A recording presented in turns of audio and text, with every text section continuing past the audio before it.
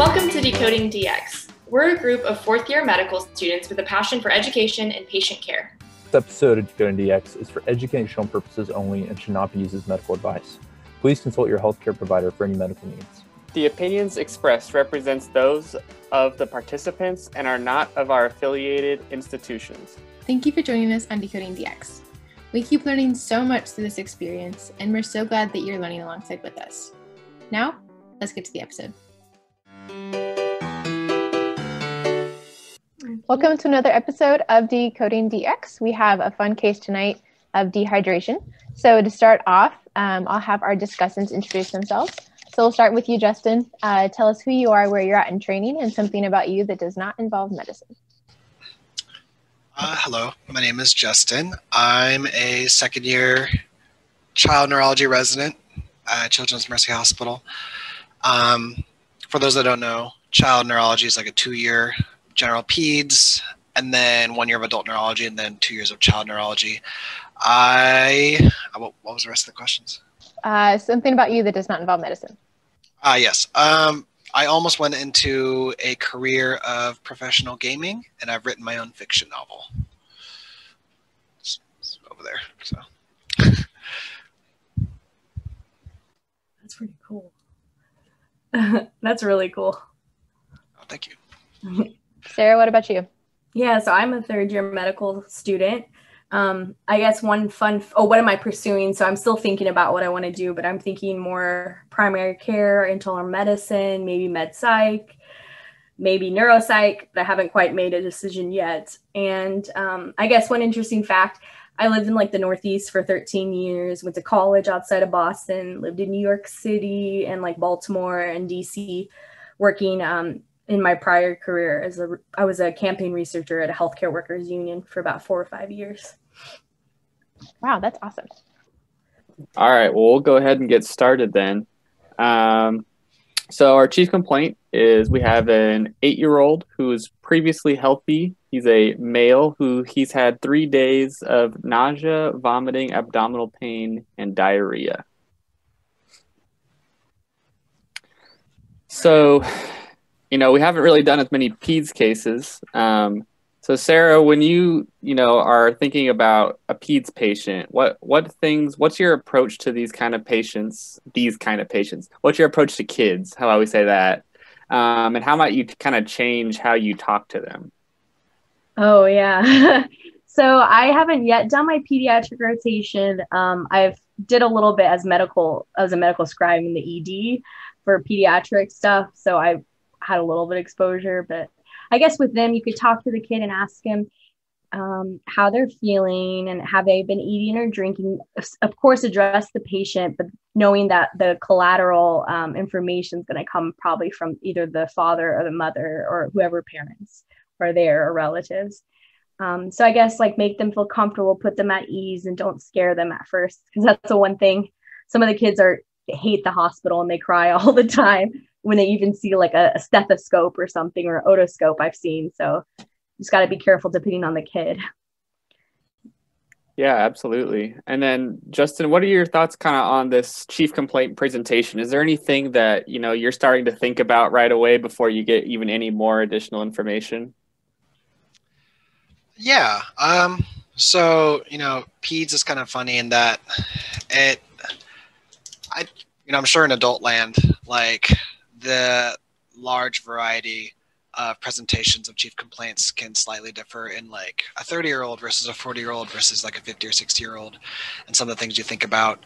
Um, but i feel like in peds there's very much definitive ranges of the kids that um, you have to approach very very differently. You know like if i saw this triad of symptoms in like a six month old uh, my my level of concern and what I'm thinking about is very different than what I'm thinking like a two year old, when I'm thinking like a five to ten year old, like school age, versus like a teenager, you know.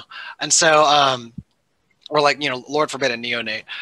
Uh, so that's the first thing that's kind of going through my mind. Uh, the other thing is that like kids are very very deceptive, um, and there's kind of the old adage of, uh, you know, kids look great until they don't, right? And so kids can crump really, really quick and they can look really great, or they could just just be fine, and you kind of have to just you know deal with them being relatively fussy or upset and not really understanding what's going on. And so, um, for an eight-year-old with these symptoms and not walking in and seeing the patient, like literally like walk in that, that door exam, uh, it's sometimes harder to get a really good read. But right now, just hearing those, I'm not like, I'm not very concerned right now with no other information anyway. All right, excellent. That's a great thing to think about with our with our peds patients. All right, so a little bit more history um, of the the present illness. Um, so they had three days, uh, three days previously, um, a patient started having a fever and abdominal pain, and it's gotten worse over the last 12 hours or so. Um, reports also having nausea and then not being able to keep anything down. So we're taking in, always spitting it or throwing back up.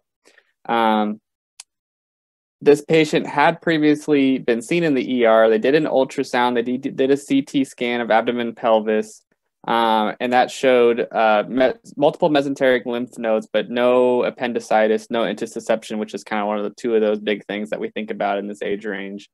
Um, he was diagnosed with mesenteric adenitis, and he was sent home with ibuprofen previously.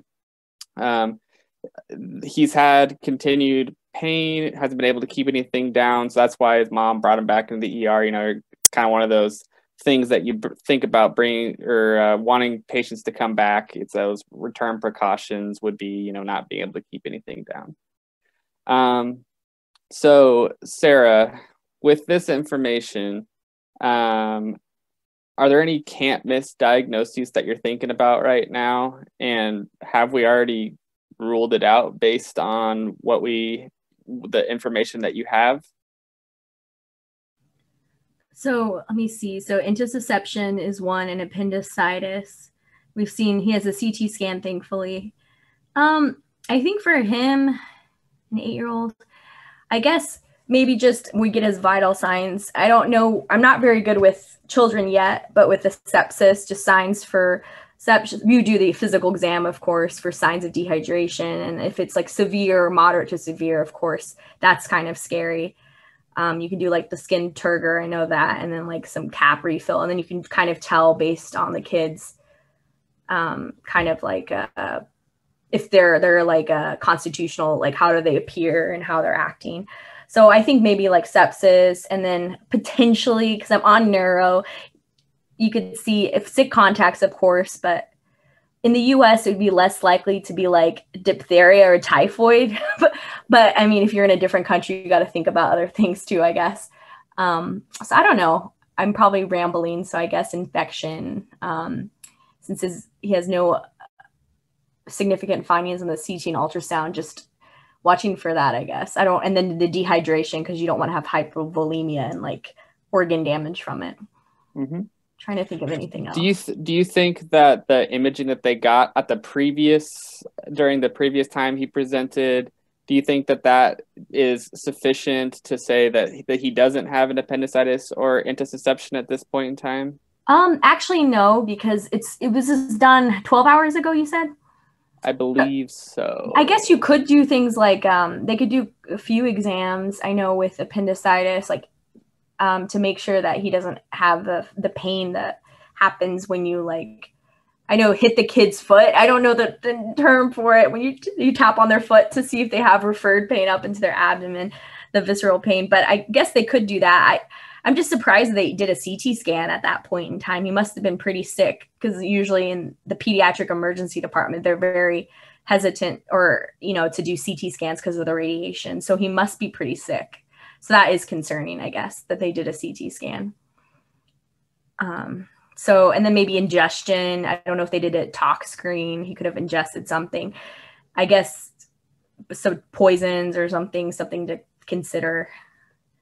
Yeah, absolutely. I'm not very good at this. I'm sorry, guys. Oh no, no, no! You did that's you did a fantastic a, job. Yeah, Justin. What, anything else you got? Um, so let me preface this by saying I hate abdominal pain. It's a very different chief complaint um, than the other two, uh, especially when it's thrown into the mix. Um, one, I, I just want to like encourage Sara that that was a really, really good um, kind of just assessment of you know what what what things could be going on. I also want to say that like I my first impression is that I, I'm very shocked and, and agree with Sara. Actually, I'm glad she picked this up. I was going to go on my talking points that they did a CT scan, um, especially after what I'm assuming was a negative ultrasound, right? And so when you think about these kids coming in, like vomiting, nausea, abdominal pain, diarrhea is some of the most common things you see in kids ad nauseum. Um, and uh, and the thing about kids is like common things are very common. And so like the number one go-to thing for most people in this regard would be like this is a viral gastroenteritis. This is a virus that is affecting the stomach lining and the intestinal lining that has disrupted um, you know a lot of uh, how the how has disrupted the line. Yeah, I already said that. Disrupted the lining to where you're now just losing fluids, and a lot of it is just symptomatic management until the body self resolves this. And so, you know, unless that kid had like really low blood pressure, and unless that kid was pretty feverish, which you did say he had a fever, um, unless that kid looked like septic and was like acutely nastily vomiting and stuff like I'm, I'm really surprised why why they did the ct like did he not respond to fluids? Did he not respond to like just ibuprofen to bring his fever and pain down? Um so yeah i'm really i'm almost more curious about the last er visit. But i guess kind of like thinking about so the assumption's either someone did a garbage job um, or the kid was pretty sick and i've seen both in the er you know like i've seen kids that got the the million dollar workup. Um, and then I I admitted them up in the floor, and two hours later, the kids eating, drinking, and and and and we discharged like next morning. You know, it's like why did this kid get admitted? Uh, but I've also seen kids where uh, their life was saved because of like um, an imaging that someone was a little too careful. So, um, yeah, those are some initial impressions on kind of and I will. I'll also say that mesenteric adenitis is so so rarely diagnosed, um, and I think of it largely as a diagnosis of exclusion. You know, it's it's not something you can just say like that's mesenteric adenitis right there, classic. It's, that's that's either not a thing that I'm aware of, or it's like so uncommon. Um, and so uh, that's also kind of surprising that this kid left with that diagnosis and not like something else almost almost makes me wonder if it was a an adult ER uh, resident that um, worked this kid up. yeah, no, I think that those are both great input, and yeah, Sara, you did a fantastic job, especially if you haven't done your pediatrics rotation yet. I don't know that I would have been able to do any better, and I have done a pediatrics rotation. Um, so let's oh. go ahead and get a little bit more history. Um, so generally, he's been a healthy kid, no known other diagnoses. Um, lives with mom and mom and his older brother. Um, no concerns for any allergens, toxins, any ingestion kind of things like that in the house that they're aware of. Um, doesn't take any medications. So that's kind of you know that's that's your your general peds backstory for the most part. Um, nothing real concerning in his history. Um, we'll go ahead and get uh, some some vitals um, and uh, review of systems as well. Um, so I guess we'll start with review of systems. So he does have a headache, and then everything else that we uh, that we noted in the HPI doesn't have any chest pain, any difficulty breathing, any rashes, and also doesn't have any sick contacts. Um, or recent travels or anything like that that uh, they report. All right, so let's get that. We'll go ahead and go with the vitals and physical exam findings. Um, so he uh, has a temperature of 39.6 Celsius, heart rate of 123, blood pressure of 102 over 59, and he's statting 95% on room air. I don't have his respiratory rate here, um, but uh, we'll we'll look more in the physical exam. Um, so generally speaking, um, he's ill appearing. He's lying on the bed. He's curled up. He does not pass the door test when you look at him initially. Um, HENT. Um, he's got dry mucous membranes, no tears that are appreciable. um, no rhinorrhea. Um, patient won't let you. He won't let you like look in his mouth or anything, and that's you know hard enough as it is. But he's does not. He's not you know helping you participate at all in it. Um, cardiovascular. Um, tachycardic. Regular rate and rhythm. Um, normal S1, S2. No additional heart sounds or murmurs. Abdominal exam. Um, it's soft, diffusely tender to palpation with some mild guarding, um, but no no rebound. Um, so that you're concerned about there. Um, and then skin exam, it's warm, dry, no rashes. Notably, he's got a cap refill of about three to four seconds. So that's a little bit prolonged.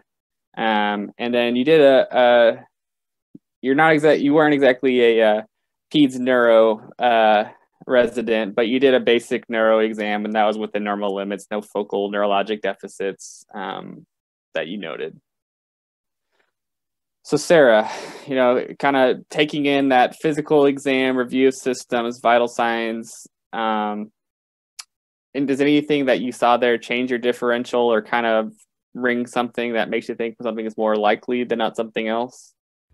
So, I guess just with the headache, just because meningitis can be something that's very, um, I guess he's been three days, so that's probably less likely, but it's something to just consider.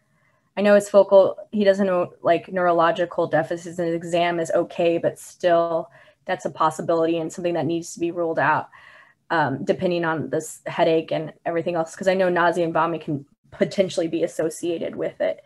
And he's also eight, so he might not be able to describe everything, but he could potentially have like issues with his eyes, maybe phonophobia or photophobia or other things. So just that to be considered. And then of course the vital signs and I mean on the exam, sorry, it's the severe dehydration. I only looked this up like on I was looking up a bit about this uh, before this call like a, a, couple hours ago. So I, I now know that that severe dehydration with the cap refill and also with the lack of tears, it's uh, considered 10% or greater of loss of body water. So definitely he needs fluids and he needs to be treated um, immediately to um, you know to stop any end organ damage or any other problems with the severe dehydration. So I guess yeah. that's of course number one, get, getting the fluids, but also considering meningitis, but less likely. Yeah, absolutely. I think that's a, a great great points and things that change. Yeah, I think that it, it kind of also points to the you know there might be something it's that underlying what's going on that's causing that but number two you know if you have that clearly dehydrated um, you know you want to also treat you know symptomatically it might just be a symptom of what's really going on but that can also you know be extremely harmful like you had mentioned with organ organ damage um, in our pediatric population. Um, justin anything to add or anything that that kind of popped up when you were looking at the exam vitals review systems? Uh yeah and yeah i could, I could talk forever. Um it's kind of kind of who i am uh, I'll start with one thing. You know, he's still feverish.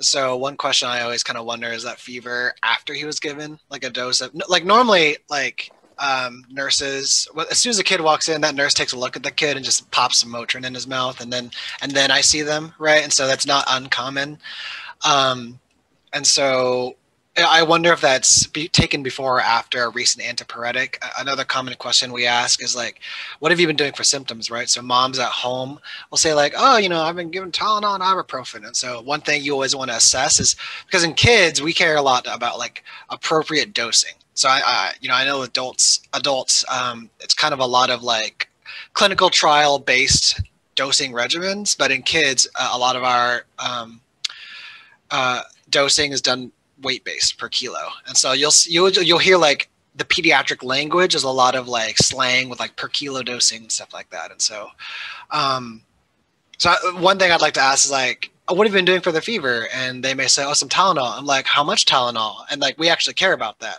And so they'll be like, oh, and then you have to do so much math. They'll be like, oh, five mils, you know? It's like, okay, well then you're like, well, what concentration, right? And so like, are they doing five mils of the hundred, like hundred mg per five? And so, and then like, once you do the the milligrams, and then you have to calculate the the mils per kilo. And so Tylenol is 10 to 15 milligrams per kilo, depending on how much you care to use. And so there's like that's like you know whipping out your whiteboard and you're running triple integrals, right, and stuff like that. But um, that that's that's one thing I, would like to know is like, are they appropriately dosing uh, whatever likely this is likely infectious to me, but some likely viral infection to tr- to make the patient feel better. Um, going down kind of other things that I noticed. Uh, yeah, this just kind of like laughs. It makes me laugh because there's some things that like either you don't have enough time in real life because you have 50 billion other patients, or or is it, it, what I call a, a textbook sign. And so right here it says no tears. Like, did you slap the kid? Like, how, how did you assess that? You know, like, it's like, ain't crying, Jim. You know, like, you know, no tears, right? Um, and so if, if, if some, if, if like a med student or intern checked that out to me, my first question would be like, what, you know, what, how did you assess that? Right. Like, unless you came in and told the kid like Barney died um, and he's not crying. And so I don't know. Um, but yes, that is pretty severe if that is if that you've truly ascertained that. Um, things that really stuck out to me because you know I've seen a million kids like this. The heart, the blood pressure is really good actually. Um, one thing you can do to calculate blood pressure is so like every patient starts with a systolics of 70 blood pressure and then you can just like throw on seven for every year and that's like a general decent assessment for normal blood pressure range, at least for systolics. Um, so theirs is fine. It's totally appropriate. And, you know, there's always a range, right? But uh, it's, it's appropriate. And then heart rate, that's actually like uh, smaller than I thought it'd be. You know, sometimes I see these kids like 130s, 140s. Um, and that's not like scary even. Uh, and when you think about heart rate, you always have to think about like you know what can be caused is it anemia? Is it dehydration which is the most common thing? Uh, is it the fever? Is their body just internally really upset at something? Is it pain? And so heart rate that kind of becomes its own game. But this one is likely dehydration. Um, the dry mucous membranes yes kids that's pretty easy to notice. Um, always look at the tongue uh, look at the buccal surfaces um, you know look at the eyelids right uh, those all help you out and then um, cap refill. So on every patient, this patient could be coming in for like a what's that really like a uh, you know, any other diagnosis, like ear infection. They can be coming for ear infection, and I would still check cap refill because kids, once they feel crappy, they don't eat or drink anything. They're just they're just sick of it until they feel better, and so they're always at risk for dehydration from so many things. So I check cap refill on every kid. So even just from the tachycardia cap refill alone, um, you know, I would just be like, oh, let's give some this kid some fluids. Um, yeah, those are initial impressions. The headache is likely secondary to the dehydration or just feeling unwell. And then going over the physical exam, the uh, diffuse tenderness. Um, one thing with kids is that you got to be a really good investigator. Uh, I, I one time had a mom. If I'm talking too much, just let me know and I can stop. No, you're um, great. This is fantastic. If I, I one time had a mom come in with the chief complaint of her her kid uh, could not see eye eye blackness. I'm like, oh, and this kid's just like chilling in the bed, right? And uh, and I'm like, really? And I asked other things, and she also said she's also nauseous. And I'm like, oh, she's nauseous, really? I asked the kid, are you nauseous? She's like, I'm nauseous. And I'm like, do you know what nauseous means? She's like, and so and and then I. The, mom was asking her, "Are you nauseous?" And the kid's like, "I am nauseous." And so, like, uh, I, and one, another thing I do to test abdominal tenderness because kids just don't like to be touched when they're not feeling well. If I press like upper quadrant, they're like, ow. And I ask, did this hurt? Or the common, do you have owies? And they're like, I have owies. And then you press like right lower, ow. And then you, you press everywhere and they're going, ow. I'm like, hmm. And then I like, I like tickle the toe. Like, did that, was that owie? It's like, okay. And then like, I'll like squeeze, gently squeeze the fingers. Like, was that owie? Like, I'm like, all right, this, kid, this kid's gonna say yes to everything, right? And so you really, really got to figure out. You got to get sneaky. So sometimes what I do is like I, I do the the and so I'll like take my stethoscope and I pretend like I'm listening to their belly, but I'll just push, really subtle like, but I'll push in. And so if they if they like pull against me or they like squ- flinch or squinch or whatever, that that communicates to me tenderness more so. Um, and an eight-year-old, normally they're pretty honest by then. An eight-year-old, they can typically communicate pretty well.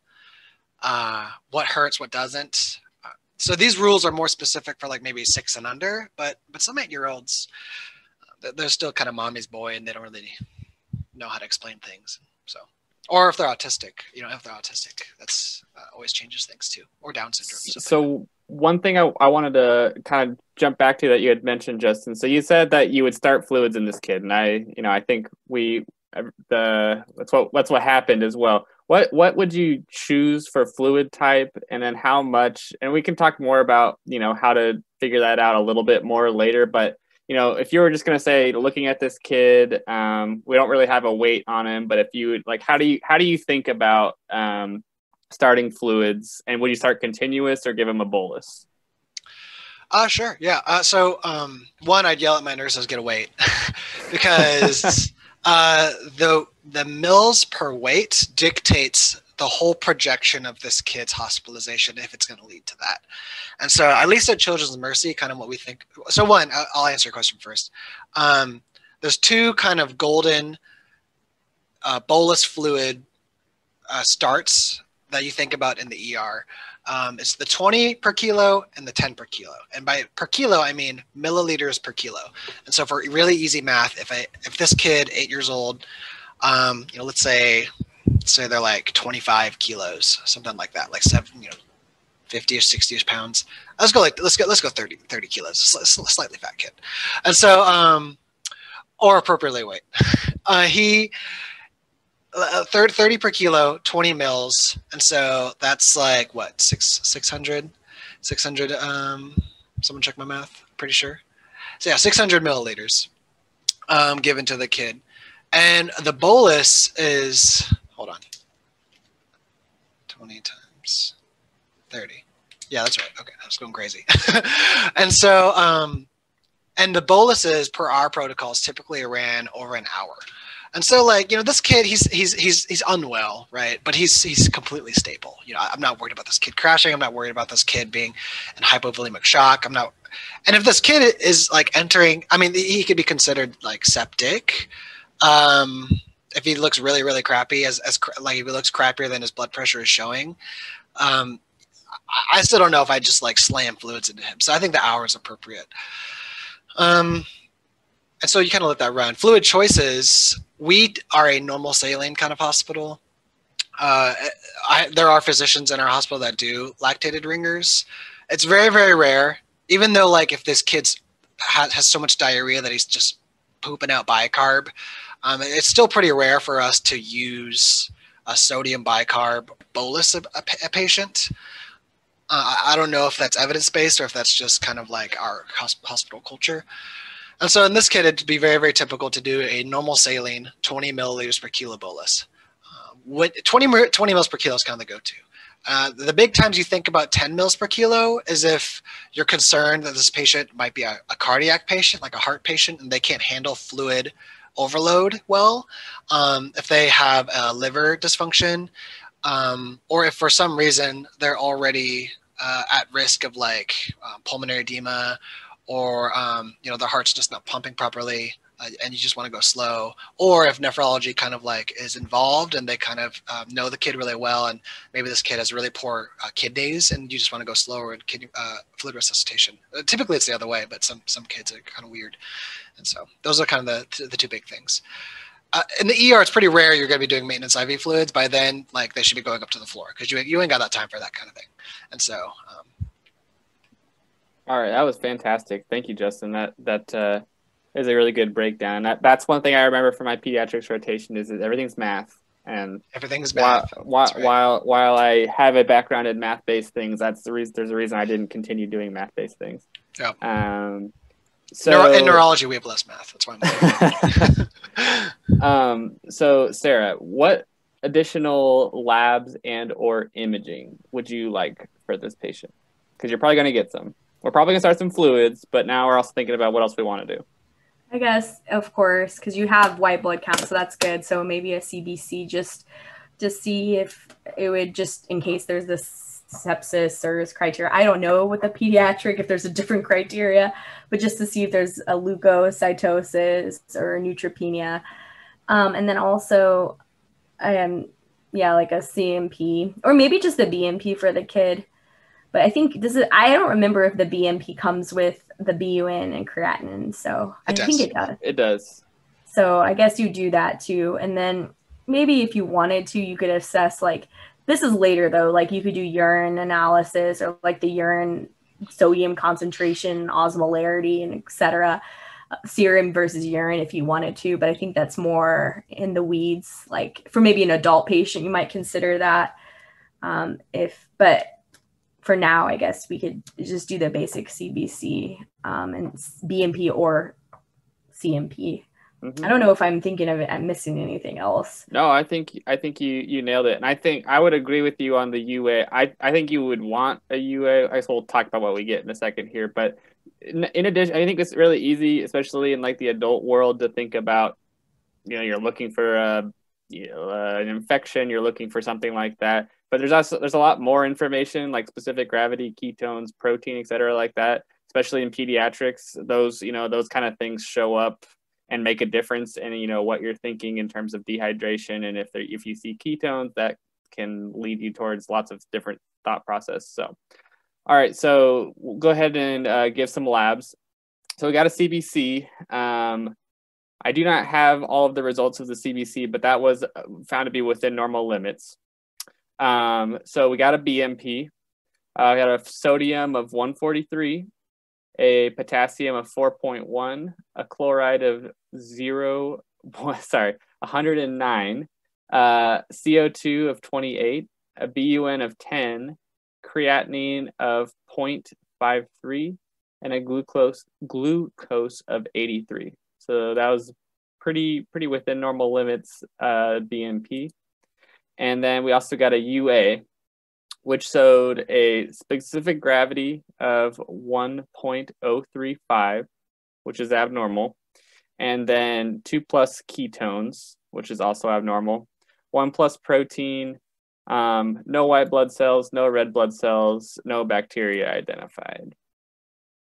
Um, additionally, we also got uh, some imaging. We got an abdominal ultrasound um, and the report showed that it was considered a category three, which um, basic, very basic terms just means that there's inflammation, but they don't see anything that's appendiceal as the cause. So they don't see like, oh yeah, that that's a, a clear appendicitis, and that would be a different um, categorization. So you can, we have kind of this info. Sara, what are you thinking about dispo at this point? Because we, we know, you know, we kind of have talked about a little bit what we're thinking as the underlying cause. Um, our labs, you know, showed us there's some some abnormalities. Do you think this kid is stable enough that we can give him fluids and send him home, or would you think that we want to admit him? Um, given the ketones in his urine and he doesn't have hyperglycemia, I think that's like significant. I'm not, I mean, I think for a child, because you usually see that, you know, with DKA or severe dehydration. So, yeah, I think he would need to be admitted and just watched. Because, you know, with fluids, you also have to, I guess this is, I think with fluids, you have to be careful about over bolusing or putting too much fluids and watching the kid. You don't want to cause any um, problems in the CNS. Um, so I guess I would consider admitting him, given though he has a normal white blood count. I think more admit him just maybe for like 24 hours and see how he responds and everything. I don't know about the abdominal inflammation. Um, that sounds kind of concerning, but it's also an ultrasound, so it could just Yeah. yeah, I don't know. No, I think that that's a I think that's a, a great great thoughts. Um, Justin, can you comment on that abdominal ultrasound finding and what what uh what is those what are those categories about? Uh, yeah, and I and I, and I, I I have s- I have so much to say, um, about about kind of the, the stuff we got in general. yeah, absolutely. Uh, so one to preface, I always forget these categories. Um, I'd have to kind of look them up to give really good specifics. What I do know is that, um, so one now I now I almost wonder if it differs per hospital because if I remember correctly, at our facility, um, when you do abdominal ultrasounds, uh, category one is like everything's fine, you know, no, no real concern, and then like a category two is that um, the like appendix cannot be identified you know, like is not actively inflamed or whatever, but also like couldn't really be found, so not probably not a concern. Uh, category three is like a little bit of inflammation, but may or may not be related. And then category four is like uh, that poor appendix, help it out, you know. Um, that's off the top of my head. Someone check that if that's incorrect, um, just because That- I kind of like, go ahead. What what you said, Justin, is kind of what I remember, at least for my pediatrics rotation. It was like one is you completely see it, it's okay. Two, it's only partially seen. Three is you don't can't find it. Four is it maybe. Five and then, and then like five is like there's an appendicitis or there is not an appendicitis or sorry there's an appendicitis there's appendiceal inflammation and then there's like a, a separate one that's like it's a perforated um, I that's what I remember, but also at the same time, I'm not sure. Um, I think that that might be like a radiology group kind of categorization as well. So I don't, I Yeah. really don't know. And in our, in our radiology reads, they always kind of always have to detail what the reads even mean because you know most of us don't remember.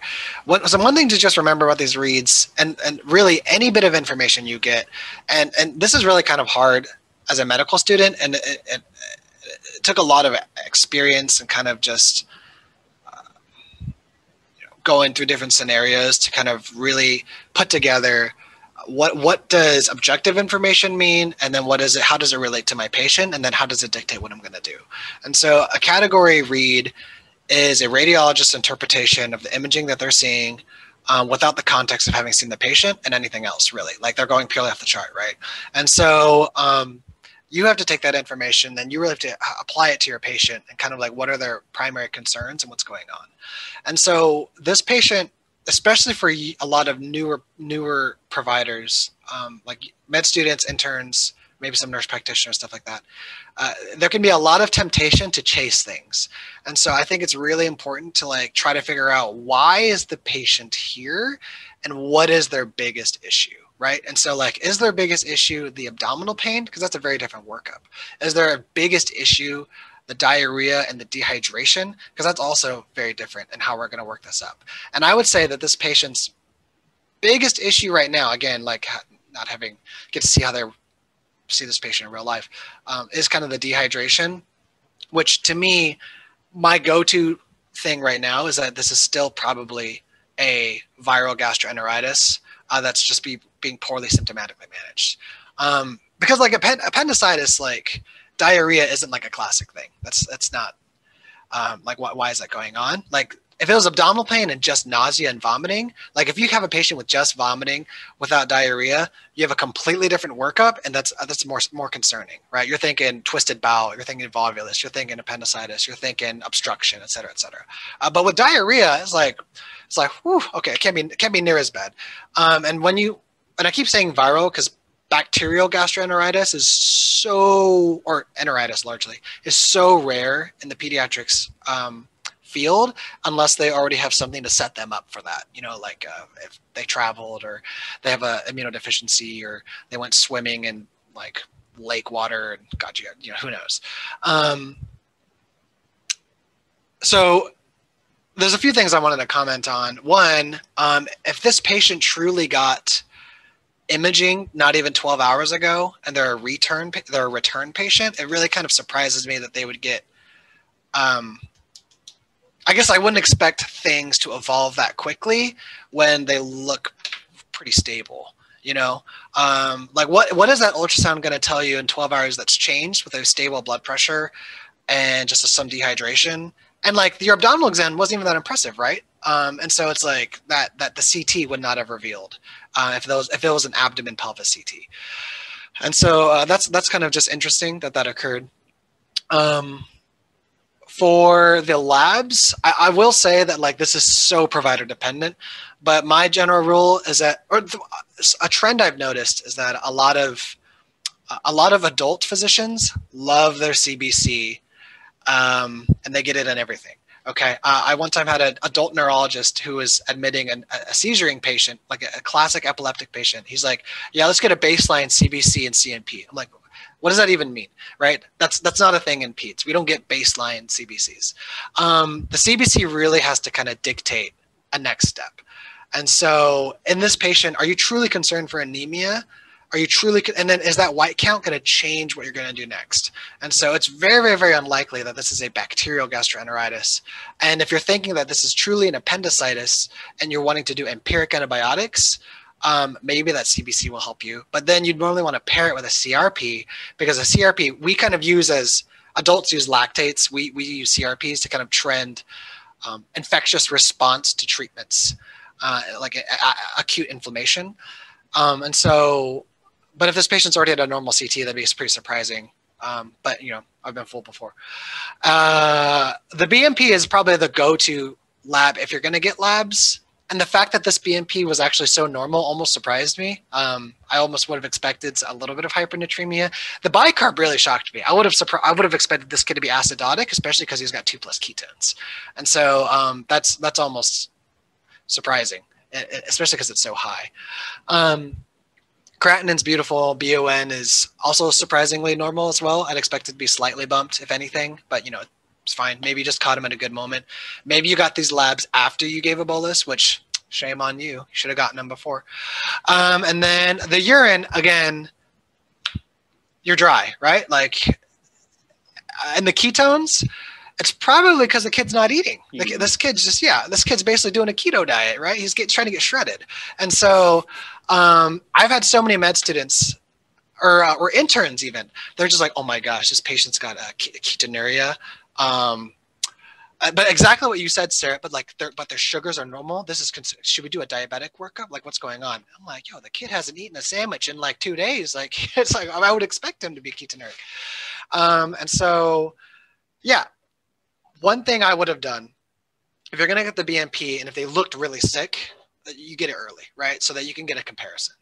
Um, and same with the urine. The urine's like fine. Like again, like these, like some providers would have gotten them, some would not have. I probably would have leaned on not. What I would have done is do the 20 per kilo bolus and see clinically how he changes. Did his heart rate come down? Does he look better? Does he look more peppered up? Give us some ibuprofen. Does his fever go down? Does his exam go from squealing and curled up to playing on the on the phone, like a positive phone sign? You know, like um, those are all great responses. And it finds out the kid just needed to catch up on fluid losses. And so um, your clinical exam in kids is so valuable and you can you can do so much from it. So I, I would have probably reassessed before doing a deeper workup, especially after, I mean, I would not have gotten imaging on this kid this early, um, especially without having reassessed how he responded to the first bolus. And a general rule is you have 60 mils per kilo of reassessment to work with. So we kind of think of that as three 20, 20 excuse me, three 20 mil per kilo boluses.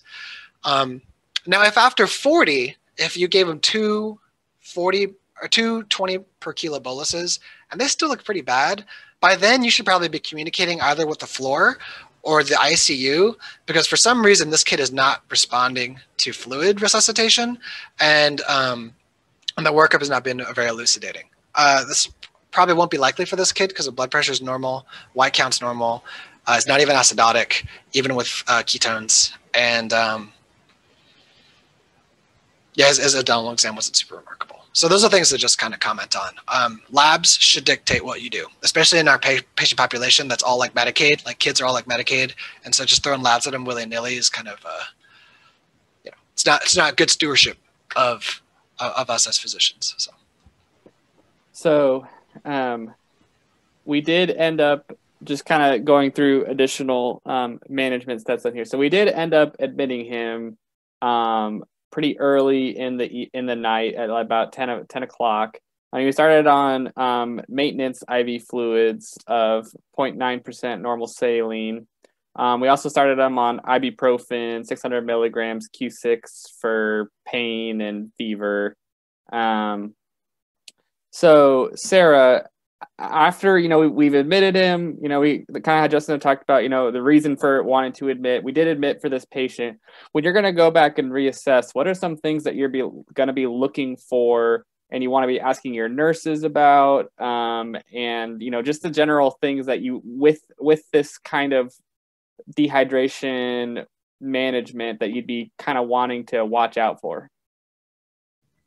Um uh, I guess just to make sure that he's responding to the fluid. So just do a re-exam on the capillary refill. um, to make sure that it's improved to two seconds or less.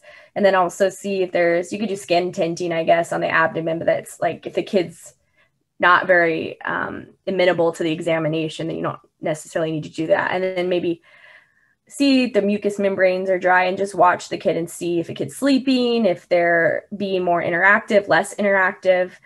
And then I guess vital signs, of course, monitoring that. I don't know how it is depending on what, if you're in the ED, if it's maybe like every four hours or I don't know if they're going to be doing it like Q one hour because it's more ICU, you know, bed status. So depending on how much the nurses can really do during that time, if it's really busy, like you said, in the emergency department, they may not be able to do all of that. Mm-hmm. Um, I, I, no, absolutely. I think that kind of like Justin was saying, you know, that, that clinical exam, when you look back in the room, is he now not sitting in pain and is looking better, or is he continues to look kind of crappy and we're just kind of like, what's going on? Um, one additional thing that we did that we did get and we're always going to be monitoring in our in our PEDS patients is urine output, and that's a um, amount per weight per hour um, because it it will it will vary by um, weight how much they should be putting out. Um, and you know, like infants, we can always think about how many wet diapers or things like that. But in uh, you know, you can start actually monitoring it as they as they get a little bit older. So, eight hours after you admitted this patient, um, their urinary output is 0.2 cc's per kilogram per hour. They're still in severe pain. They didn't sleep, and their cap refill is four seconds.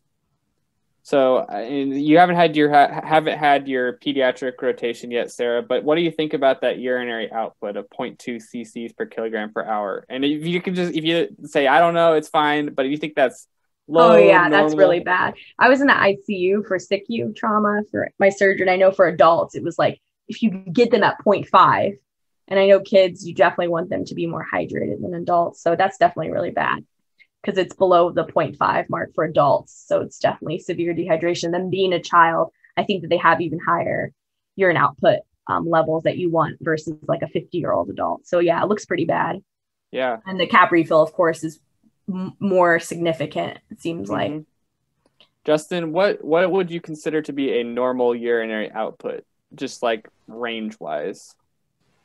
Basically, above uh, one milliliter per kilogram per hour. So yeah. Yeah, this is pretty severely dehydrated for sure. So I'll, kind of start with you, Justin, on this one. So when you see this response after you've started your resuscitation, what are you thinking? Are you are you going to change your management strategy, or would you continue the course, or what do you what do you what do you th- what would you be thinking about at this point in time? Uh, again, this is like hard to contextualize without an actual weight. But um, but one that ibuprofen 600 milligrams Q6, if you have that scheduled, you're going to destroy that kid's kidneys. so, uh, you know, I would say most adult weights are are, are doing 600. Uh, so for an eight year old to do 600, that's that's pretty impressive. Um, but that's that's kind of an aside thing. I, I can't escape, but for kilo dosing, it's a sickness. Uh, for the fluids, so assuming that this kid's not eating that much, um, you know, he's kind of nauseous, and obviously he's not drinking anything. Um, I probably would have added a little bit of sugar to his fluids. This may be like a cultural thing at my hospital. Um, we tend to be more frivolous with it. So like uh, dextrose five, normal saline, let's like 0.9 percent. Um, and then we do it like for this kid. Uh, I, I, would assume that in the ER, I would have hoped that they would have done at least one more bolus. Um, but if they didn't, you know, and this kid's pretty severely dehydrated, we could probably run him at like one and a half maintenance if he's not responding to maintenance IV fluids. And so maintenance IV fluids would be, um, so the, the calculation you can do, the one that we always do is the 421 rule, where um, for the first 10 kilos of their weight, you do four milliliters per kilo. And so, like, an easy way to remember their first 10 kilos is 40 mils per hour. And then um, the next 10 kilos after that is two. And so if they weighed like um, 60, or I'm sorry, if they weighed 20 kilos, they get 40 for the first 10, 20 for the next 10 for 60. So easy benchmarks to remember is um, that 20 is going to be 60 mils per hour. And then um, at, if they're 60 kilos, they get 100 mils per hour because then every kilo after the 20 is is one mil per hour. And so, um, but you can that that'd be one times maintenance. That's like basic what they should get in a day. Uh, for this kid, I'd probably be doing one and a half maintenance. Um, so you just take that 150% and kind of see how they respond to that. You know, I, I'm a little surprised with that BMP uh, and that heart rate that has taken them this long. I still think right now, you know, we've ruled out a lot of the nasty nasties that could kill the kid. Um, the kid's obviously not perforating. The kid's obviously not having bowel twisting. The kid, as of now, does not have appendicitis, at least seen on imaging, um, and does not have an impressive white count, which is reassuring. And then, um, but sounds like the kid's just dumping and not not replenishing. So he's pooping everything out, uh, but he's not. He doesn't want to eat and drink. And, and mom has bought into him and she's like please make him feel better. And she's like not encouraging him well enough. Sometimes parents can be your greatest allies or greatest enemies. And so um, yeah i would do one and a half maintenance. And then uh, if he's still not responding to that or even before starting that i'd maybe give him a good bolus and then start him on that and just really really flood him and see what happens. Uh, this is a kid i would probably um, keep on q4 hour vitals maybe do Q2 hours for like through the night just to just to keep good tabs on him, make sure we're not missing anything if he starts to crash. Uh, which with a normal blood pressure, I'm not super concerned about, but he's kind of on the verge. And then um, this is maybe a kid that I would go check on at least two to three times in the night to keep getting a comparison exam to see how he's responding. And so those would be major things. Um, the ibuprofen, I would not, again, other than the dosing thing, uh, I'd probably decrease that dose a little bit. I don't think I'd schedule it. Um, if their pain is really that bad, I think that kind of dictates a different workup. Um, and I'd want to know like where their pain is that bad, but, but that's kind of a whole different shebang. Yeah, absolutely. That was a great discussion, both of you guys. I think that uh, kind of really speaks to kind of what we were doing and thinking with this patient. And I think kind of going back to your to your point about maintenance fluids, um, that four two one rule, you'll definitely see that in all your pediatrics rotations, Sara. So you'll get to hear that one more as well. Um, but when when to use mate or uh, like one and a half maintenance and some things is it's it's when you're having really bad dehydration or you're having additional losses during that time. So like our like our patient, you know, he was dehydrated, obviously, but he was also still having diarrhea during that time. So he was not just, I am dehydrated, we are replenishing. He is, I'm dehydrated and I'm continuing to get worse. And so that bumping that up to the 1.5 does make sense. And so, you know, if we're thinking things like he's vomiting a whole bunch, having diarrhea, and even things like uh, fever or burns or other things that can also, I mean, burns are its own separate uh, dehydration picture, obviously. Um, but yeah. So and, and another thing, I, would maybe just add like an antiemetic, like ondansetron, um, just so that you know IV fluids are great, but you also want to get this kid ready to eventually go home, and so you also want to like push oral fluids as well, PO fluids, and so just trying to make them help them up for success with that, and uh, maybe help like any nausea that's worsening that. Absolutely. Okay, so kind of wrap it up. Um, so the next day, they, he ended up getting a complete abdominal ultrasound, which he hadn't actually had a complete abdominal ultrasound with the increasing pain. We just wanted to make sure that, like uh, Justin had kind of mentioned, you know, make sure we're not missing like a volvulus or anything. You know, we're not missing anything else. Um, and that showed no no evidence of any kidney or biliary stone, no intussusception, but it did again show enlarged mesenteric lymph nodes consistent with mesenteric lymphadenitis.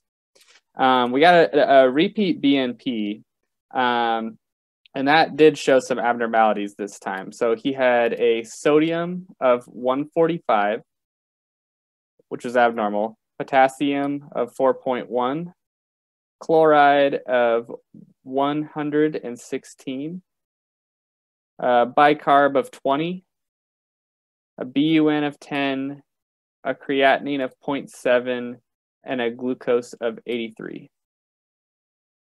And this was before we had switched to um, had switched to any uh, maintenance fluid. So he was still at the just like general uh, his one time uh, maintenance fluid dosing. Um, so with that, kind of Justin, quickly, what do you think of what do you think of that about that BMP, and what do you think we would change? Uh, again, just like uh, surprised that the BUN is just riding steady. it's like, um, but uh, you know, you could probably switch to something without chloride. He's getting. Um, I probably would have. I'm also kind of surprised that's CO2, but he's, he's he's he's encroaching on a hyperchloremic acidosis. Like he's getting, he's not acidotic yet, but he's he's, on his way towards this, and so uh, his chloride's pretty high. So you could you could switch to like lactated ringers. Um, you could temporarily switch to like sodium bicarb. Um, both are appropriate. Uh, you know, at this point, this kid's kind of like off of the easy protocols, and so you kind of just have to keep close eyes on him and uh, adjust your fluids as appropriate. Um, but yeah, I'd probably switch to uh, LR. Yeah. Um, and then just get another BMP probably in six or 12 hours, mm-hmm. depending yeah. on how he looked.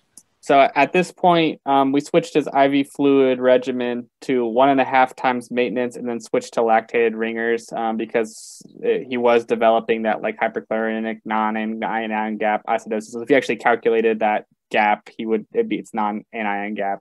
Um, and so, you know, you just want to make sure that you are not overdoing it with the normal saline, which is kind of what the the picture looked like for him.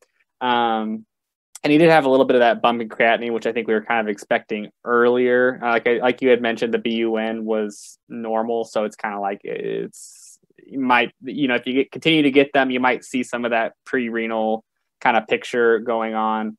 Um, but so and then for pain control, he was still in quite a bit of pain at this time, so we switched up his um, pain control to Toradol, uh, 15 milligrams Q6. Um, that was scheduled.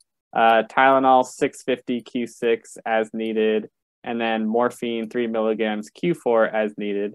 Um, I, I, I personally didn't take care of this patient. I don't know, Justin, if you, you know, I see your face. I think additionally those NSAIDs, I don't know um, what your um, thoughts are on that, but adenitis must really suck, and I just haven't had enough patients with adenitis. Um, or or man, they just let the residents do whatever they want out of this one. so, uh, you know, the creatinine could be twofold. Like the creatinine could be that you are slamming this kid with high dose NSAIDs and he's super dehydrated, um, or or it's just a natural progression and it's eventually going to turn around. Um, like you know ketorolac toradol or ketorolac toradol is is an NSAID as well. So you just got to be careful with scheduling it on top of have, having just been on scheduled high dose ibuprofen.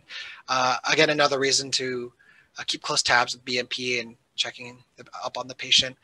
Um, i think it's surprising that tylenol wasn't already on at least as a prn so i think that's totally appropriate. Uh, the morphine is you know if he's having that much diarrhea I, am not opposed to a couple of doses slow of opiates. yeah, slow them down a little bit too. Like it might double double smack them. Um, but yeah, wow, that pain. Um, again, I haven't had many adenitis patients, so so maybe maybe yeah. it really is that bad. And so wow, I've, I've seen. Yeah, I saw uh, an adult patient. So you know the pediatric thing, adult or children are not tiny or not tiny adults, but they I had a guy who had mesenteric lymphadenitis secondary to like cat scratch disease actually, which is that was an interesting thing. But uh he was in a lot of pain. It was like it was like we were like, are you sure this is not like an acute abdomen weird thing going on? Um, but uh he was not comfortable and he could tell us he was not comfortable. So that made it, you know, that's my that's my visual thing that I think about. Um, but so for our patient, I'm um, just kind of wrap up. So we can kind of continue that course. We're able to kind of wean off of, uh, we're able to wean off of the uh, uh, pain control, continue those maintenance fluids. He continued to slowly improve, and he was able to uh, be discharged after about five days of kind of getting over the diarrhea, the vomiting, and uh, the the pain as well. Um, and so he was able to be discharged without anything uh, else needed. Um, so, any do either you, Justin or Sara, have any final comments and about things that you learned, or at least one to two big takeaways that you got from this case? Um, this is a not this is a bad joke, but I know the popsicle test is the best when you do kids Oh, I love it. When I was in the ED, it would be like a popsicle or ice cream, and the kids, if they were eating it and tolerating the PO, it was like almost time to discharge home. so that was the only thing. But yeah, I learned a lot. This is great. Um, I think feel like I'm gonna be doing well on my pediatric rotation for dehydration. Thank you, Justin, and thank you, John, and thank you all of you for this because this was really good experience for me. Absolutely. Um, Thank I, you very much, Sara. You did a fantastic job, especially considering that you you hadn't had your pediatrics rotation yet. So, thank you. Yeah, honestly, Sara, how about you, you go ahead. stand out. Oh yeah, yeah, for sure. Um, I think I learned about adenitis and how it can, um, like five days of pain and dehydration. Holy moly, you know that must have really sucked. And so, uh, you know, I think this was also just a good reminder that kids don't follow a lot of typical roadmaps, right? Like, uh, someone would have expected that sodium or the creatinine or the BUN or the bicarb on that BMP to be very different, right? Um, maybe on this kid, he would have had a larger inflammatory response. What if his white count was high? You know, whatever. Um, and so his blood pressure was totally fine, and yet his urine output was uh, two mils per kilo per hour after a bolus, right? And so kids can sometimes be very unpredictable. Um, I've had a kid who came in, he was vomiting in the triage room, and then by the time he rolled to his ER, he was coding and he had cardiac arrest. And so, uh, because he had a twisted bowel that perforated, and he just instantly changed. And so, uh, kids are unpredictable, and kids uh, compensate really well until they don't.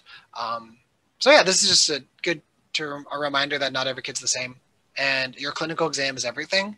Um, kids are harder to treat by the numbers, and so you kind of have to just keep getting your impression on these kids. Um, so this, yeah, this is great. Thanks, John. And um, I thought you were really good um, curator of all this. And Sara, like honestly, you I thought you did amazing. You're basically like answering questions at like a M4 early intern level. So even without the experience. So thank you. Excellent. Well, I appreciate you guys taking the time to uh, go through this case. I think it's one of those, you know, dehydration. It's it's like a very it's one of the most common things I think you see during your pediatrics rotation. But I think everyone freaks out when they see everything is a weighted dosing of something, me included. That's part of the reason I didn't go into pediatrics personally. Outside of I don't really like kids, but um, but no, we really yeah I know. Sorry, Justin. Um, but we, I really appreciate uh, you guys taking the time to uh, walk through that case, and also thank you to Brianna who did actually create this case. I am just the presenter on this one, so she did a fantastic job getting it all uh, put together for us. Thanks, everyone. This was a blast.